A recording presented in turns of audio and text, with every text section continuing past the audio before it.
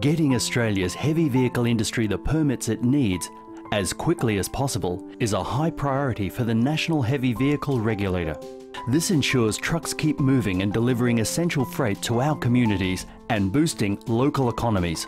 Local councils play a key role in this as the owners of most of Australia's road network. The Moree Plains Shire Council in country New South Wales recognises this and has developed a strong relationship with its local industries and has put systems in place to ensure it quickly responds to industry needs to get key equipment and essentials into the Shire and local produce to markets.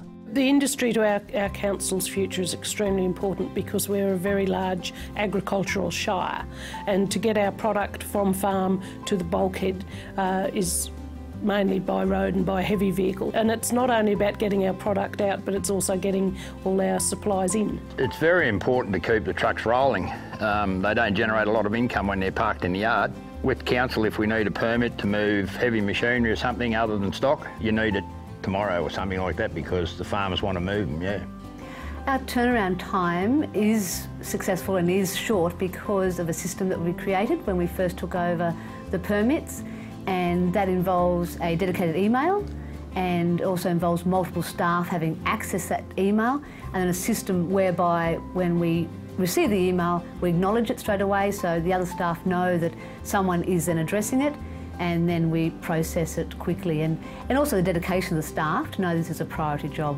They're very good to deal with. They seem to know what's going on and they want to help. They, they, I think they realise that uh, industry such as ours and many others in this town here need them, and they've got it. To, they've got to keep the industry in town to survive. We have an open door policy at council, and it's far better for people to come and say, look, I've got a bit of an issue with this, or there's a rail crossing, or you know there are constraints that we need to talk about. Our turnaround time is now very, very, very quick because the spreadsheet, we quickly put in the roads that we they, they want, we put the roads that they want in, then we look at the conditions they want, and if we've previously uh, did a permit for the similar conditions, it'll pop up that these roads were passed or not, and the turnaround time is then down to a couple of days, quite simply. And it reduces the workload of the staff because when we're initially looking at a new permit with new conditions, we have to go out and inspect the road, we have to look at the culverts, we have to look at all the, all the intersections,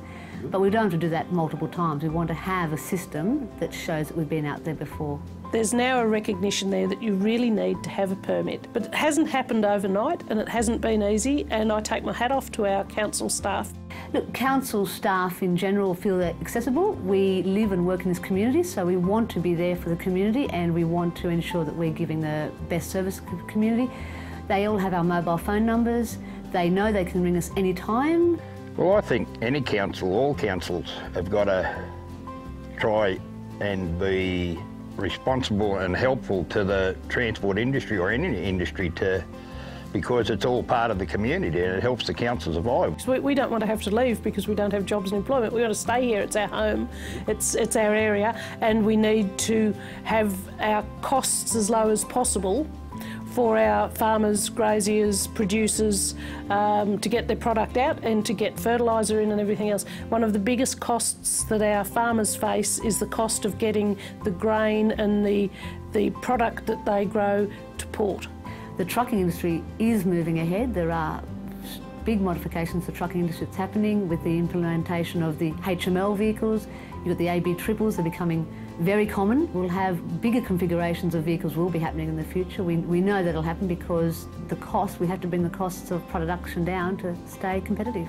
But it's very important that we have the best roads possible, that we have the best usage possible, because there's huge scales of economy to be had with the bigger trucks using our roads. It's far better to have a, a bigger truck with better suspension using our roads than it is to have lots of small older style trucks that are doing a lot of damage to our pave. So we're, we're very aware of the, the need for the heavy vehicle industry in our Shire and it's just hugely important. The Council works closely with, with NHVR. We want to encourage applicants to go to the NHVR for their permits but we're also there as a providing a full service to all the operators, to the industry because they're going on our roads but we need to maintain the roads, but they need to access the roads. So it's a real partnership.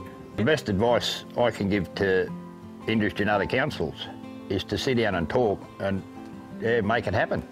It is uh, pretty easy to do. Talking is not hard.